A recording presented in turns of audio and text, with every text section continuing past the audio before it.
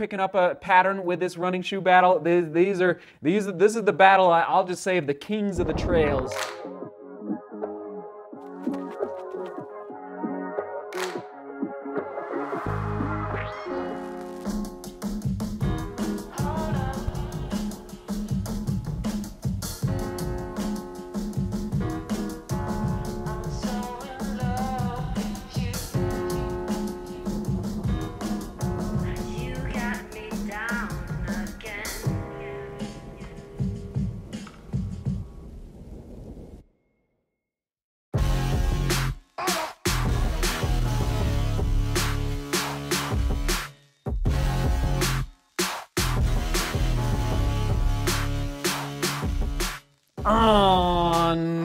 Onward and upward. Cheers, everybody. Enjoying a little Waterloo into Studio and Speedgoat 5, Endorphin Edge. Great day. Here we go.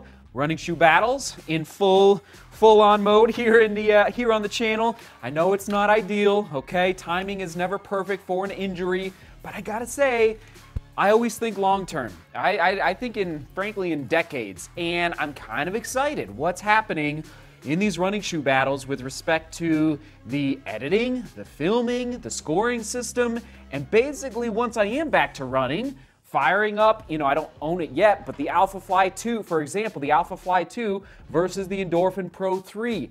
Um, basically, the evolution of the channel this injury is allowing me to evolve in other areas, like these running shoe battles. I probably would not be publishing as many as that I am, and thanks for your patience as we work through this injury together.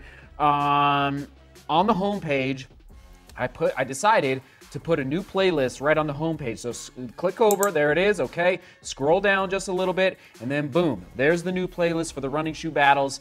And I realized there's so much diverse content that we could be creating here within DGR, and it's fun for me as a creator to pivot a little bit from just straight up running shoe reviews to these battles, like the Hoka Speedgoat 5. Let's pull it off the shelf versus the Saucony Endorphin Edge. Are we looking at the two, uh, the two best ru- trail running shoes of 2022? We very well may be. All right, everyone. Anyway, just wanted to mention that at the beginning. It's kind of fun. It's not ideal. All right, I'd much rather be running 14ers right now, but it's nice to pivot and create a new genre of content for all of you on the channel. There's the drop. All right, soak it in for both of these shoes. I'm just gonna put the weights on the screen as well. Okay, so Endorphin Edge is the winner, winner chicken dinner for the weight uh, by about uh, about a half an ounce, a little over a half an ounce. All right, durable nylon mesh for the Edge, double layer jacquard mesh for the Speedgoat 5. Very close for the lockdown. Sorry, Chad. Um, anyway, Chad, there's Chad. I think you're going to be watching this. There's the actual scores. We Chad and I were talking over on Discord. Anyway, so Chad, there you go. I remember Chad. Uh, but Chad, the reason that the overall winner for the upper is the Speedgoat 5 is that heel counter and heel tab. All right, there you have it. I don't know if Hoka and Saucony are talking to each other. Look at those very, very reminiscent heel counters and heel tabs. I'm still going Noosa Tri 14 for the best hug on that Achilles tendon in 2022. Moving on to the midsole. Oh my, my. Saucony pushing the ball down the court with Power Run PB plus a carbon fiber plate in that midsole plus a rock plate. All right, so they went all out in this midsole. Ride and energy returns, though, very similar. And the Speedgoat 5 does not have a plate in there. That's the that's the amazing thing about the compression molded EVA over here in the Speedgoat 5, which did get a little bit lighter from the Speedgoat 4. So if you were a fan of the 4, which I don't know if it's around here right now, it uh, you're really gonna love. And, and many of you have already bought this shoe, have taken it past 500, 600. I get the photos. Yes, send them to me. Info at DeMoorGlobalRunning.com. And yes, I'll just give a shout out to the website right now. It's starting to progress. Okay. It took a little lull. It's it just takes time to develop a website, a lot of time. So send your photos, and there's a chance your photos of the midsole, outsole, upper could end up on the website. All right, sound good? So there you go. Overall score for the um, ride and energy return, and then the overall score for the midsole is going endorphin Edge. And let's, you know, actually, well, I actually just did this a second ago, but I'll do it again. Here we go. Uh, getting my 38, 39. Okay. And again, this midsole, you know, it's a little older now. Actually, that side's saying 48. Let me just find, that's the thing with the Speedgoat 5. There's not a very flat surface. Okay. 44, but then Endorphin Edge, 36. So it is softer in the Endorphin Edge, which I appreciate. So if you want a little softer ride, I'd consider, but keep in mind, there's a carbon fiber plate in there, and let's do this. Oof, wow.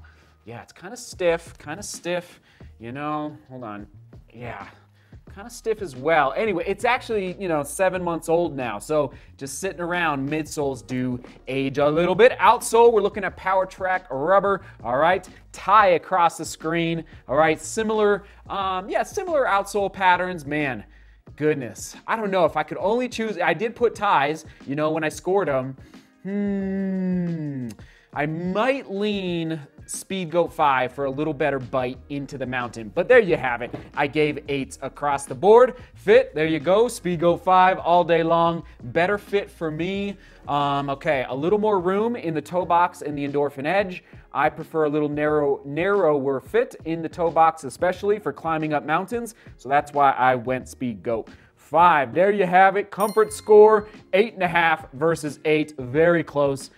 Very. You see picking up a pattern with this running shoe battle. These, these are these. This is the battle. I'll just say of the kings of the trails of 2022 thus far. Durability predictions again similar. Actually, I think I gave a tie for the scores.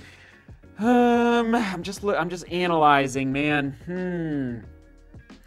And if you are reporting any issues with the outsole of either of these shoes, please do, because I, I, think I have seen some pictures of Speedgoat 5 lugs tearing off, okay?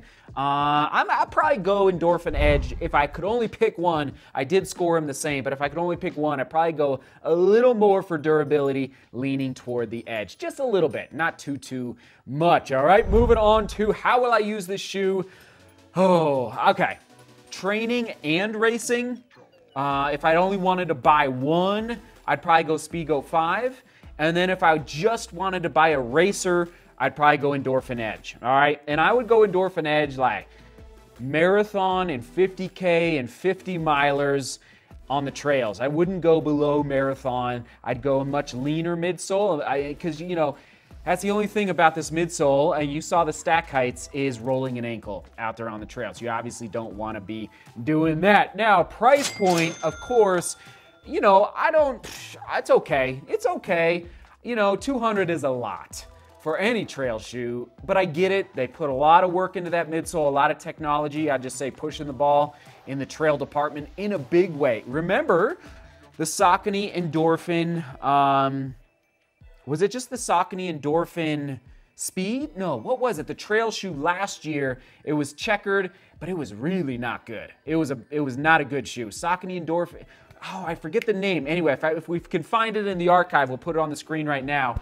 Uh, but so so I think Saucony probably was like, eh, that was not a good attempt at their first really, and I think it was just the Endorphin Speed Trail.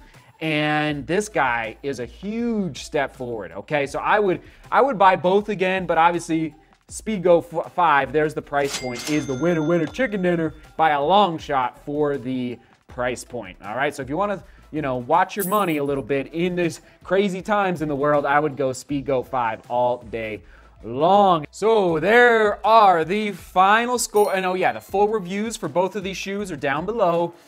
Uh, seven point, I think it was 7.85 versus 7.8. Amazing. So, so close. Very similar shoes. Keep Again, keeping in mind that the Speedgoat 5 doesn't have a plate in there and it still has that fun bounce and energy return through that midsole. I suspect, I mean, I think, I think Hoka is going to stick a plate in the Speedgoat lineup sooner rather than later. Uh, just, to, I mean, I'm telling you, oh man, I mean, gosh, just trying to like I don't know. I don't know what the future holds for my racing on the trails in 2023. I'm not I'm not gonna discount uh, discre- I'm not gonna put this guy away for too too long with respect to possibly racing in the shoe in the future. I would buy the shoe, frankly, in a heartbeat for racing on the trails. It just, it's fun. It's bouncy, it's exciting. And again, these full reviews are down below in the description, everybody. All right, comment of the day, question of the day. Just do better said Speedgoat 4 is my all time favorite shoe. 800 plus miles on the first pair I purchased. I hope to get the fives day one. Great review as always, Seth. So Speedgoat 4, upper right hand corner if you want to go back and refresh your memory. So did I mention the category winners? Speedgoat 5, I think took home five, three, and then two ties. Five, three, and then two ties, if I'm counting them up correctly. So again, very close, very close. Final scores. Question of the day. What was the last running photo taken on your phone. And if you care to share over on Twitter with me, and I'll retweet it out to DGR around the world or, or share it on the Facebook group. And if you haven't found those two ways to connect with other runners around the world, those they are linked down below. There's always a lot linked below down in the description, okay? So go check it out. Again, fun, fun running shoe. I would buy both again in a heartbeat. Training and racing, racing. Training and racing, racing. $200, you know, that's a lot of money. So save it for race day. Maybe you get really, I think you could get two great races out of it, depending on the length of your race. And then, uh, you know, and then maybe, you know, retire the shoe to a training shoe, you know, when you want to pick up the paces a little bit on a long run out there on the trails. Oh, we will toss it, of course, to the running shoe battle playlist. Run it keeps growing. Right there, right there, right there. Thanks for tuning in. Onward and upward. All right, seek beauty, work hard, and love each other. See you tomorrow.